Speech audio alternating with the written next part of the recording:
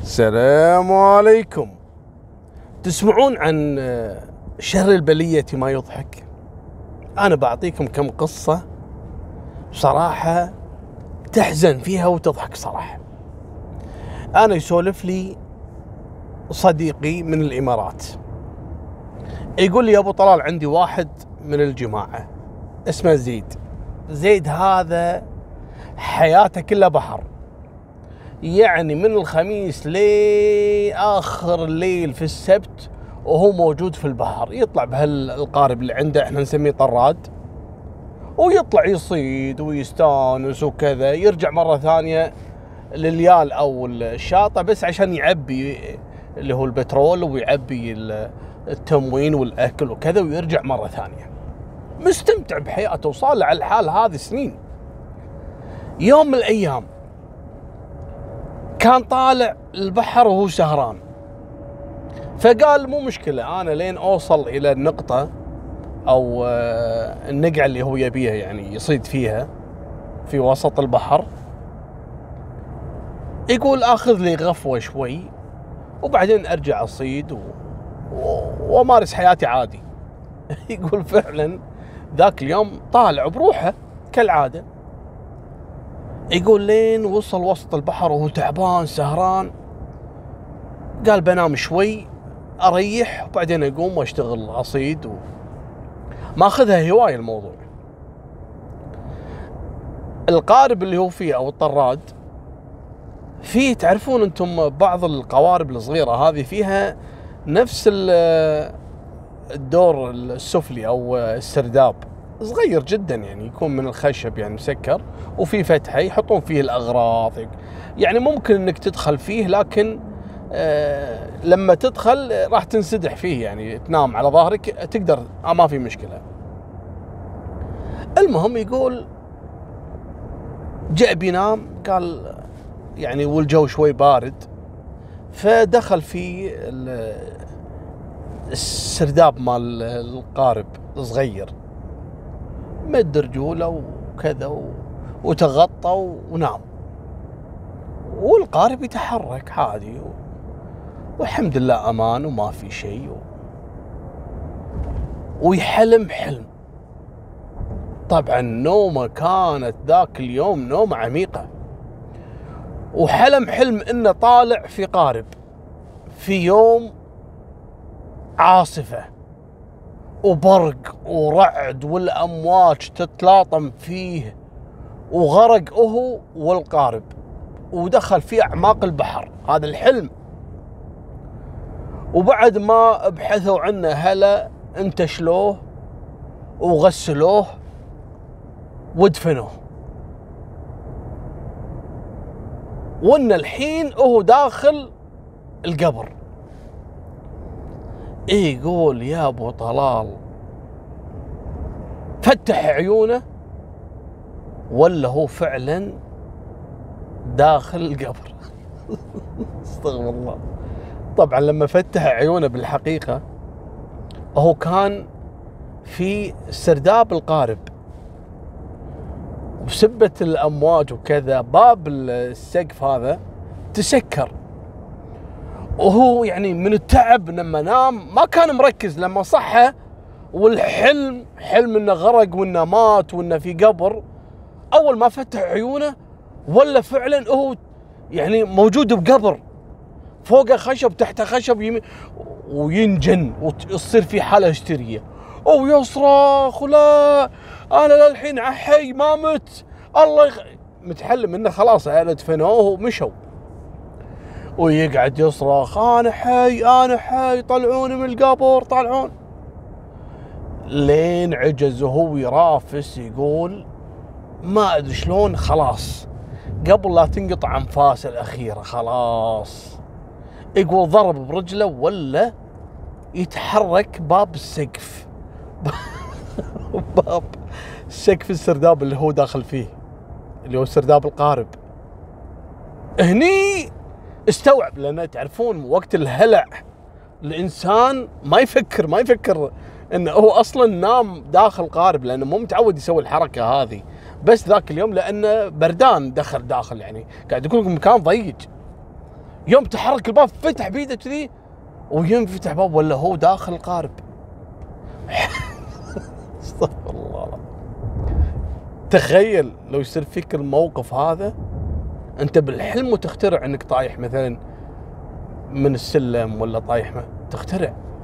فما بالك هذا صحى فعلا ولقى نفسه في مكان مظلم وضيق وفوقه مسكر وتحته مسكر يعني والحلم هذا خلاه يصير يصدق الوضع اللي هو فيه. هم على سالفة حصلت في اليمن. في واحد يعني شاب عمره بالخمسة وثلاثين. وهذا ما شاء الله عليه محافظ على صلاة الفجر مع أن بيته بعيد لكن يحب يروح إلى المسجد في الفجر حتى لو الجو بارد. عنده لذة في الحياة أنه جزاه الله خير. المهم طلع من بيته قبل موعد الصلاة يمكن نص ساعة ساعة. رايح يقول أنا بتوضأ وأقعد وأقرأ قرآن أو يعني يمارس الطقوس الدينية. فوصل المسجد قبل موعد إنه يفتحون باب المسجد. وحاس بالبرد وينتظر يقول أنا كأني جيت مبكر شوي. كأني جيت يعني يعني قبل موعد الصلاة يعني بوقت طويل. الحين شلون؟ ما أبي أرجع البيت البيت شوي بعيد. واخاف أرجع طوفني الصلاة. وين أروح؟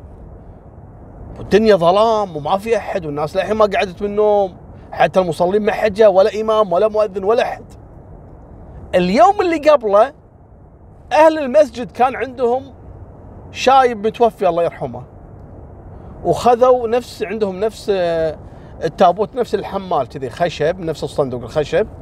شالوا فيه الجثة؟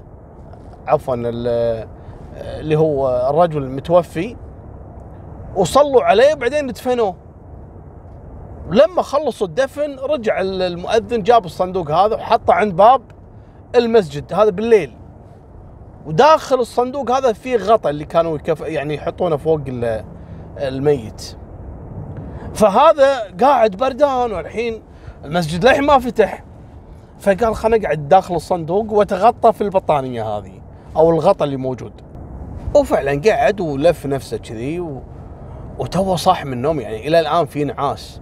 المهم ونعس قال خلنا نسدح شوي.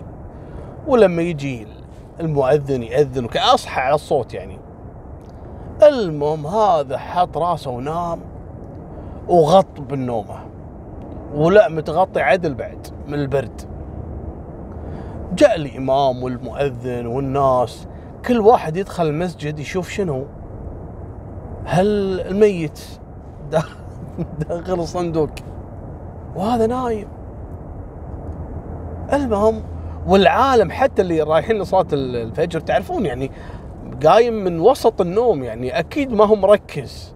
ولا حد انتبه وشافوا ميت ومتعودين إنه مثلا إذا بيصلون على حد يجيبونه ويحطونه وكذا بعدين يأخذونه داخل علشان يصلون عليه بعد الصلاة. وفعلا جاء المؤذن وطلب من الاثنين قال لهم يلا خلينا نشيله. شالوه وحطوه قدام على المحراب بعد ما خلصوا صلاة والرجل نايم ولا حسوا فيه. المهم طبعا المصلين صفوا عشان بيصلون عليه. وكل واحد فيهم يعتقد إن الثاني هو يعني من أهل الجنازة. فما حد سأل منو صاحب الجنازة منو كذا من اللي جاي معاه ما حد يدري يعني. كل واحد يعتقد إنه الثاني. المهم ويبد ويبدون يكبرون. الله أكبر يبي يصلون عليه. هذا بهالوقت بدأ يسمع. الله أكبر. بدأ يتحرك شوي. صحى المصلين في بعضهم انتبهوا. بدأوا يخافون. لا إله إلا الله رسول الله أعوذ بالله ما أدري شنو. قاموا يوسوسون ميت شوي يتحرك. شوي ويقوم يفز.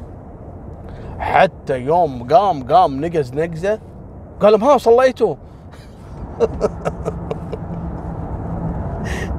أقول لكم مرات بعض القصص هذه مصيبة يعني إنها ميت وكذا لكن من كان يتوقع إن هذا مسكين نايم غط بنومه. ونام بالتابوت. مالكم بالطويله ذاك اليوم واحد يسولف لي سالفة. والله جنني صراحة. دكتور سوداني. طبيب. موجود في الرياض. هذا الله يسلمكم. قبل كم سنة. يقول يا أبو طلال. يسولف لي عن قصة أبوه. يقول يا أبو طلال. أبوي دكتور محترم وقديم ومعروف وأخلاق وعنده مراجعين ما شاء الله لأنه شاطر. طبيب أسنان. المهم ذاك اليوم ويجيه رجل. دخل عند أبوي قال له يا دكتور ترى مو أنا المريض. قال له إي حياك تفضل. آمر. قال له يا دكتور اسمعني بيني وبينك. أنا زوجتي مزعجتني. انصدم. قال له وأنا شنو علاقتي يعني؟ أنا طبيب أسنان. قال أنا عارف. لكن أنا أبي منك شيء يا دكتور.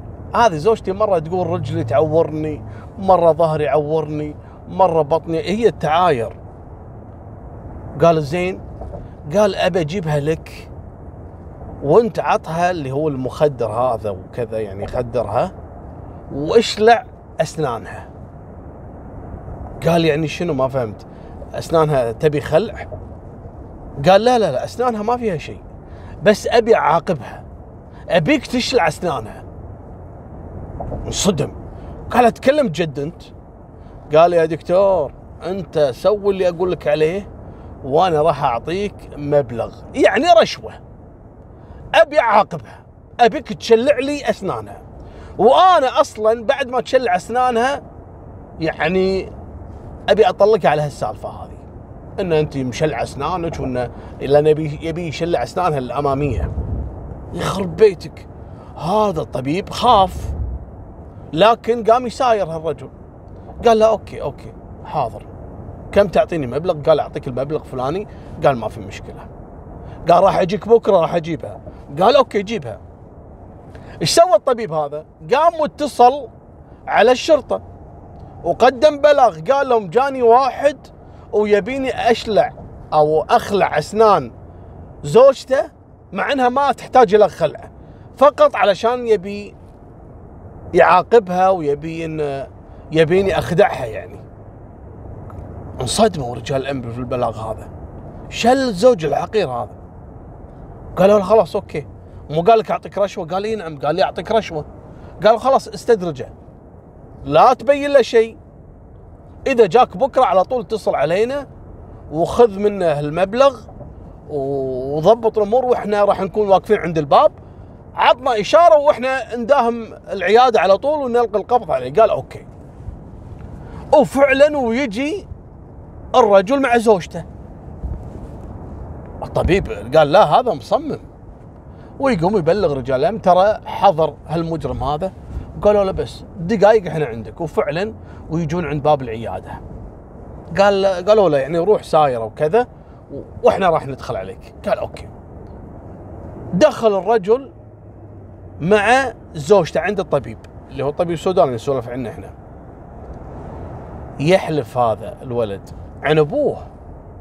يقول لي يا أبو طلال يوم دخل الزوج يغمز حق الطبيب. يعني ها إحنا على اتفاقنا أمس. يقول على طول الطبيب عطى إشارة حق رجال الأمن اللي موجودين برا ويداهمون العيادة ويلقون القبض على الزوج. وقالوا نبي نشوف وين الزوجة وين؟ طبعا الزوج أول ما مسكوه الشرطة قام يصرخ أنتم منو؟ وشنو علاقتكم؟ وليش ماسكيني؟ وهذه إهانة؟ وه... قالوا اهانه تبي تشلع أسنان زوجتك؟ مو حرام عليك؟ قال إي أنا بشلع أسنان زوجتي إيش تبون أنتم؟ قالوا عينك قوية بعد. الحين بصدمكم أنا. بصدمكم بالسالفة. قالوا إيه بشلع إيش تبون أنتم؟ شنو علاقتكم؟ قالوا شنو؟ قال يبا زوجتي عندها ضرس يعني يحتاج إلى خلع. وأنا ابي اخلع لها. شو المشكلة؟ استغرب. وقال وين؟ خلينا نشوف. وفعلا جت الزوجة وفتحت فمها وقالت لهم هذا. ولا فعلا الضرس هذا يحتاج إلى خلع. الطبيب السوداني طاح في موقف لا يحسد عليه. طبعا هذا الرجل زوج سوى مصيبة مناح وحالوا الطبيب السوداني ومع الرجل وزوجته إلى مركز الشرطة وهذاك ما سكت ولا رضى إنه يتنازل وسجل قضية إهانة وبلاغ كاذب وك... والسوداني حلف والله العظيم إنه جاني والله إنه قال لي أبي أعطيك فلوس عشان تخلع بعاقبها. بس أنا ما أدري ليش قال لي طبعا السالفة ما فيها شنو إن هذا قط الطبيب السوداني بالفخ. وهذا مسكين يبي ينقذ المرأة الطبيب. فراح بلغ. ما لكم بطويل القضية راحت للمحكمة. وهذاك ادعى عليه مدنيا و... وإهانة وأضرار نفسية لي ولزوجتي اللي تفشلت. رجال الأمن ماسكين فمها بسبة الطبيب السوداء المهم يحكمون له 250 ألف ريال. بعد عدة مداولات ويتورط المسكين الطبيب السوداني وينسجن على هالسالفة هذه. طبعا ما عنده يدفع في ذاك الوقت لكن يعني جزاه الله خير أحد رجال الأعمال السعوديين كان آه، يبحث عن بعض الحالات المدانين يعني.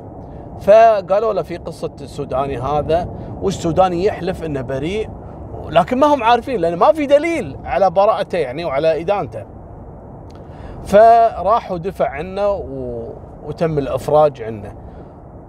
وهذه كانت نهاية سالفتنا وفمان الله مع السلامة.